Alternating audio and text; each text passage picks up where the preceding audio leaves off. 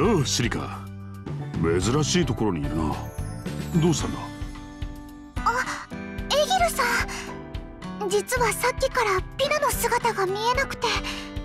どこに行ったんでしょう？町からは出てないだろうな。見かけたら教えてやるよ。はいありがとうございます。私はもう少し向こうの方を探してみますねなるほどな。案外陸弾戦が得意なんだな。春雪は。というか基本が肉弾戦ですよ僕。武器って言えるものは翼くらいしかないですからね。まあそれは戦いを見てて分かったんだがお前のデュエルアバターはかなりスマートだろ。うだからそういう戦いはあまり向いてないんじゃないかって思ってたんだよ。はい確かに軽量級のアバターですから翼と飛行ありきのスピードがないとただの打たれ弱い近接型なんですよね。シルバークローの洗練されたフォルムで頭突きやってた時は正直笑っちまったぜ。確かにちょっとシュールなのかも。お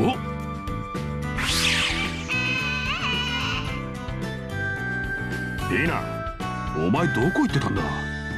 シリカが探してたぞ。って何俺の頭に居座ってるんだよ。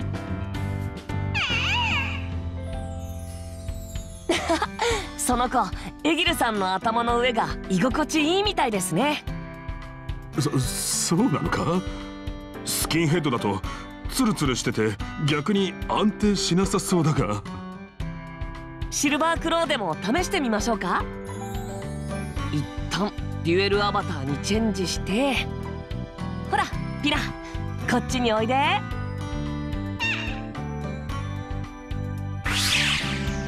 お本当に言った。ツルツル頭がお気に入りってのはどうやら正解らしいな。ピピナシリカピナはクロウの頭の上だぜ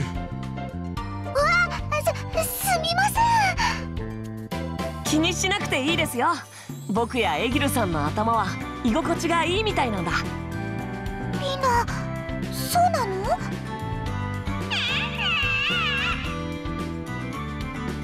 そういや前にユイちゃんもキリトの頭はスプリガンデフォルトのツンツン頭より今の方が居心地いいって言ってたな。そうでしたね。あそそうだ頭でちょっと思い出したんですけどエギルさんもヘッドバットやってみません？何？ヘッドバット？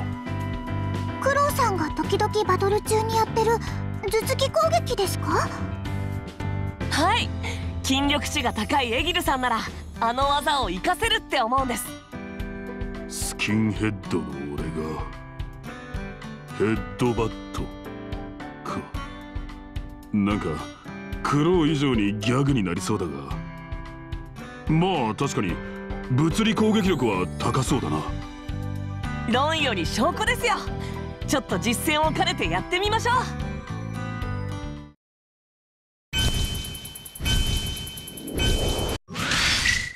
そういやこうしてお前とデュエルするのは初めてだな。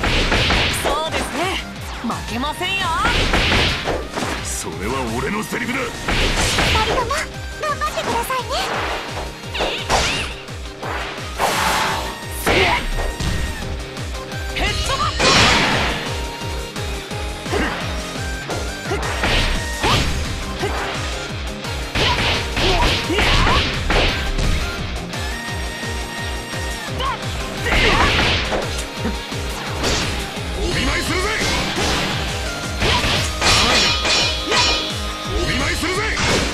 互いそろそろ HP の限界が近い。決着をつけるとするか。頭突きで決着つけます。そいつはやめとけ。熟練度を上げてるお前のヘッドバットにはまだかなわない。そんなことありませんよ。僕の頭を割らないでくださいね。だからやらねえよ。お見舞いするぜ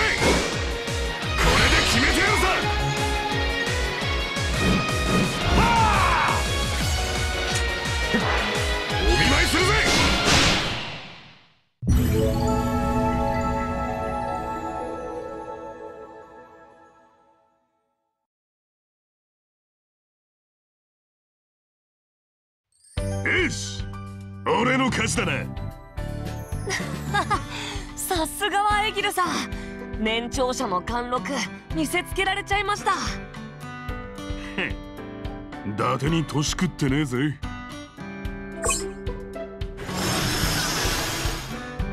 お二人ともお疲れ様でした。おおなんだこれルさんどうしたんですか？覚えちまったみたいだ。新技。ヘッドバット。え？やったじゃないですか。実技演習した甲斐がありましたね。そうだな。助かったぜ春之まさか本当に覚えられるとはな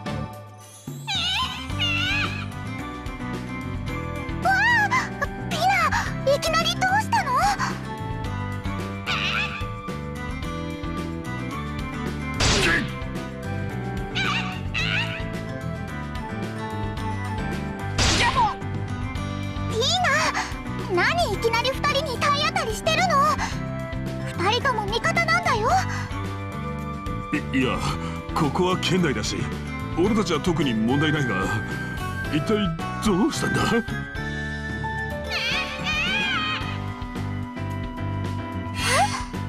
突然ウィンドウがポップアップされて？え？ー、新しい技を習得しました。な？もしかして俺たちの戦いを見たからか？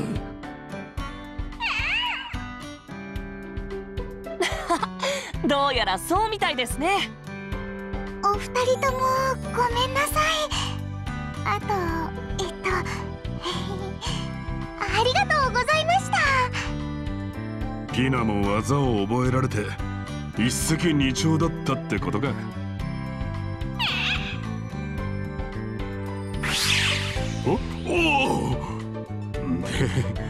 また俺の頭に乗るのかよピナもありがとうって言ってますよ。あいよ。そりゃよかったな。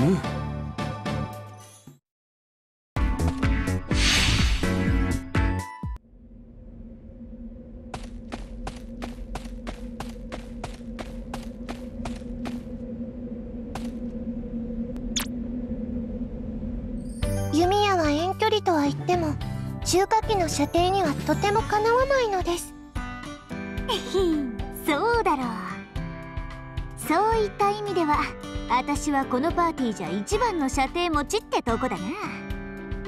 そうでもないのです。何？確かに武器のレンジだけだとそうなりますが風姉に担がれてからの私の落下による殲滅攻撃は飛距離を含めるともっと長いのです そりゃ射程じゃねえだろ。風姉のゲイルスラスターは宇宙船を想定したもの。矢の速度にも引けを取らないのです。だからそういう問題じゃねえって。二人で何の話してるの？シノンさん今武器の射程について話をしていたのです。ああなるほど。それで弓矢がどうのって言ってたのねシノンは射手なんだよな。弓矢の射程には満足いってるのか？いえ正直まだまだレンジは欲しいわ。この ALO やあそう SAO ではどうしても近接戦闘が重要だった。特にアインクラッドでは接近戦の凄みを嫌というほど見せつけられてきたの。だから遠距離武器の使い手としても遠近双方で立ち回れる強さをもっと見出していきたくて。SAO アインクラッド。シノンさんたちが前にプレイしていたゲームなのですか？そうよ。一応投擲武器として探検やチャクラムなんかもあったけど SAO でも最もレンジの長い武器はやっぱり弓だったわね。では弓矢のままでもっとレンジを長くしていきたいのですね。そうね。ありえない話だけど狙撃銃くらいのレンジのある弓があればベストなんだろうけどね。よし。じゃあ赤の王の私がシノンに稽古をつけてやるよ。え？どういうこと？だから弓矢よりもさらにロングレンジのこのスカーレット・レイン様が直々にデュエルしてやるって言ってんのさ。えっとそれをしたらどうなるっていうの？赤の王もシノンさんも凄まじい強さです。ただ戦い方がまるで違う2人では意味があるかは微妙なところなのです頭が硬えな。今この ALO は私らの世界のデータが入っていろいろな適合が起きてるわけだろ。シノンの武器が私の銃くらいのレンジにバーンと覚醒するかもしれねえぜ。そんな都合よくいくとは思えないのです。まあそうだけど。あなたの気持ちは分かったわ。じゃあデュエルしましょうおっ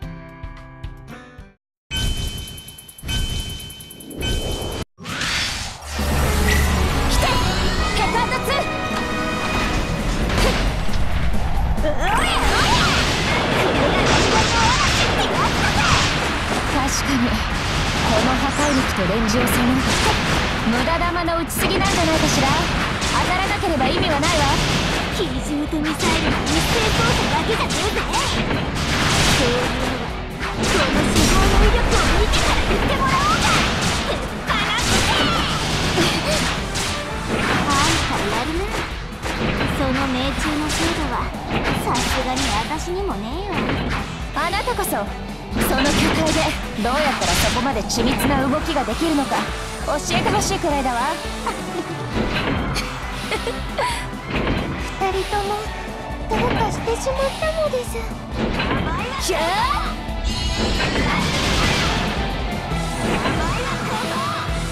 これで仕留めるわとどめよ。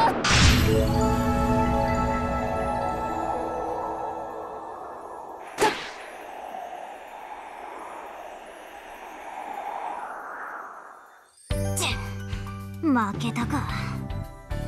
なんとか勝てたけど。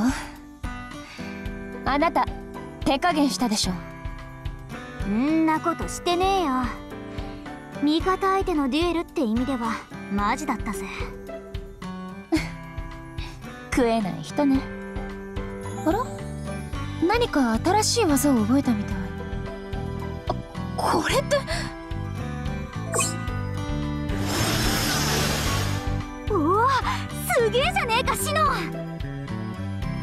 まさかの抽象感なのです。そんな。こんなことはありえないわ。だってここは北欧神話をモチーフとしたアルブヘイムオンラインなのよ。